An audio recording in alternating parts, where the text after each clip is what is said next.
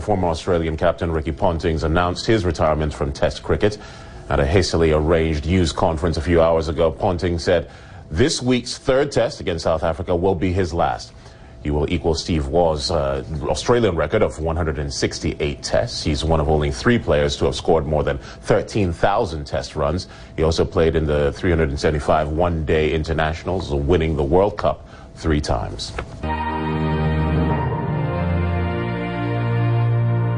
The former Australia captain is the second highest run scorer in Test cricket history. He's considered the greatest Australian batsman after Sir Donald Bradman.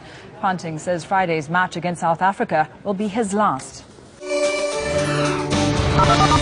A few hours ago, I let the team know of my decision uh, to make this Test match my last. Um, it's a decision that obviously I thought long and hard about, um, put in long consideration. Um, about the decision. Um, at the end of the day, it was based on my results and my, my output really in this series so far. It hasn't been um, um, what I expected myself, and it certainly hasn't been uh, to the level um, that I feel is required um, for batsmen and players in the Australian team. So, um, and as I've said all along, you know, I continue to play this game as long as I felt that I could contribute to wins and play well enough to help the team win games. And um, over the last couple of weeks, I think that, um, you know, that my level of performance hasn't been good enough um, to do that.